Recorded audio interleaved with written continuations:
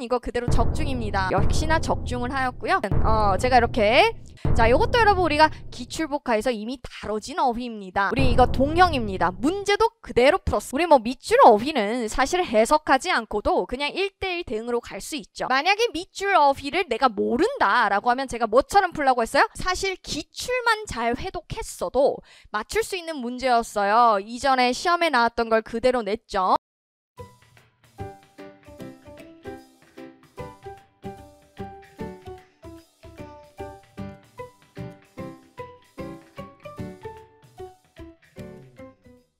네, 여러분 안녕하세요. 저는 해커스에서 영어를 담당하고 있는 비비안이라고 합니다. 자, 우선은 오늘 이제 2022년도 국가직 어, 영어 해설 강의를 한번 시작해 볼 텐데요. 자, 1번입니다. 밑줄 친 부분의 어휘의 동의어를 고르라고 적혀 있어요. 우리 뭐 밑줄 어휘는 사실 해석하지 않고도 그냥 1대1 대응으로 갈 수 있죠. 우리 여기 적혀 있는 unravel이라고 하는 것은 얽힌 것을 풀다, 해결하다 이 뜻입니다. 만약에 밑줄 어휘를 내가 모른다라고 하면 제가 뭐처럼 풀라고 했어요? 빈칸 문제처럼 풀면 된다라고 했죠. 그러면 미스테리를 뭐 하려고 형사들이 노력을 해왔을까요? 미스테리니까 뭐 해야겠어요? 해결을 해야지. 자, 우리 여러분 어, 바로 정답 1번 solve 어, 해결이 되어지죠. 자, 얘가 조금 난도가 있다 보니까 아마도 이 선 지에 있는 어휘를 쉽게 배치한 것처럼 보입니다. 정답 1번 처리를 하도록 하고요. 자, 공교롭게도 여러분 이거 그대로 적중입니다. 제가 여러분 이거 기출복화 4800 강의 한 장면 캡처예요. 제가 해결하다라는 어휘를 설명하면서 우리 unravel과 solve를 같이 어, 필기를 해드리면서 중요하니까 같이 기억해주세요 하면서 밑줄까지 쳤습니다. 그 다음 또 어휘가 나옵니다. 우리 한번 해석을 해보면 부모를 경험하기 전에 그들의 방 4개짜리 집은 불 필요하게 어플렌트한 것처럼 보였대. 어플렌트라고 하는 것은 여러분 무슨 뜻?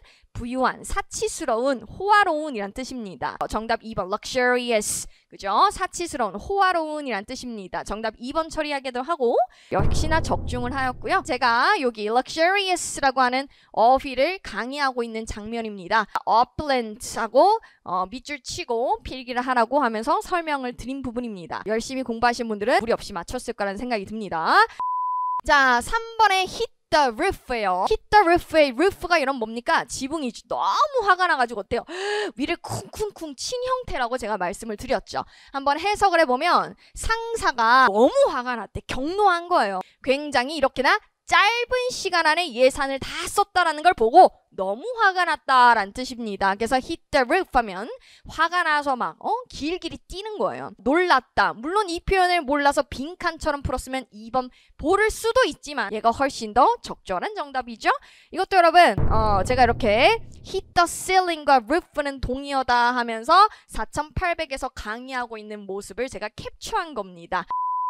자, 4번은 이제 여러분 해석하고 푸는 거예요. 그러면 지금 이거 한번 해석을 해볼까요? A mouse potato라고 하는 것은 컴퓨터 빈칸인데 TV의 카우치 포테이토랑 빈칸인 거래요. 그러면 자, 이 couch potato와 mouse potato는 얘는 TV 버전이고 얘는 컴퓨터 버전인 거예요. 자, 그게 뭐냐면 뒤에 설명을 해주죠. 많은 여가 시간을 보내는 경향이 있는 누군가야. 컴퓨터 앞에서 뭐라고 여러분 힌트를 딱 줍니까? 굉장히 비슷한 방식이라잖아요. 뭐에? couch potato가 하는 것처럼. 어디 앞에서?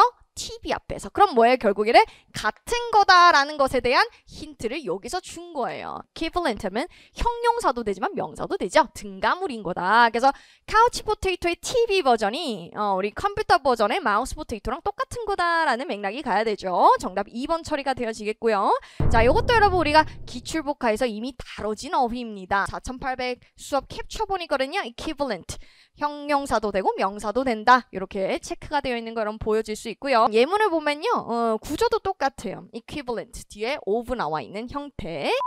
자, 5번 같은 경우에는 여러분 사실 기출만 잘 회독했어도 맞출 수 있는 문제였어요. 이전에 시험에 나왔던 걸 그대로 냈죠. Mary는 결정했다라는 거죠. 그녀의 스페인어를 빈칸하겠다라고 남미로 가기 전에 그래서 남미 가기 전에 스페인어를 가서 써야 되니까 복습하기로 결정했다라는 말이 돼야겠죠. 정답 1번 처리하도록 하고요. 우리 이거 동형입니다. 문제도 그대로 풀었어요. 7회차였어요. brush up on 이렇게 뒤에 딱 적혀 있는 거. 그래서 누군가의 기술을 복습하고 연마하다. 그래서 제가 on까지 뒤에 같이 나온다라고 필기해드렸고 복습하다라고 제가 이렇게 판서까지 했던 강의의 한 부분입니다.